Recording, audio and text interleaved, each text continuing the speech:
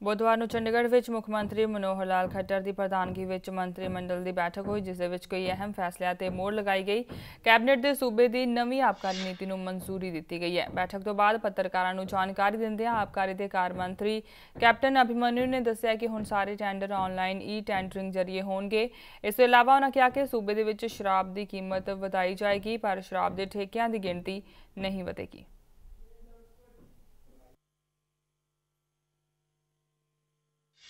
2015-16 की आबकारी नीति को फिर से पुराने स्वरूप में एक वर्ष के कार्यकाल के लिए स्वीकृत किया है।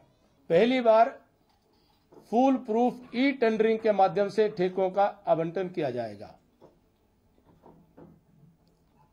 इसमें किसी भी प्रकार का कोई मानवीय हस्तक्षेप नहीं होगा।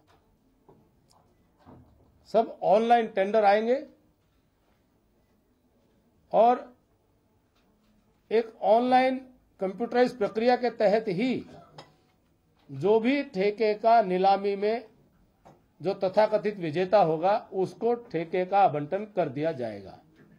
अल्कोहल या स्पिरिट जो इंडस्ट्रियल उपयोग के लिए लाई जा सकती है, अल्कोहल और स्पिरिट के ऊपर जो आधारित कुछ मेडिसिनल यूज़ में आने वाले कुछ प्रोडक्ट्स हैं या इंडस्ट्रियल और प्रोडक्ट्स हैं उनको बढ़ावा देने के लिए उस इंडस्ट्रियल स्पिरिट के इंपोर्ट ड्यूटी को छह रुपए प्रति प्रूफ लीटर से घटा करके तीन रुपए प्रति प्रूफ लीटर किया गया है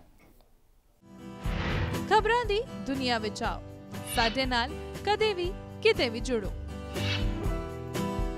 ਆਪਾਂ ਮਿਲਾਂਗੇ ਫੇਸਬੁੱਕ ਤੇ ਅਸੀਂ ਦਿਖਾਂਗੇ YouTube ਤੇ ਸਾਨੂੰ ਫੋਲੋ ਕਰੋ ਟਵਿੱਟਰ ਤੇ ਖਬਰਾਂ ਨਾਲ ਜੁੜੇ ਰਹੋ ਦਿਨ ਰਾਤ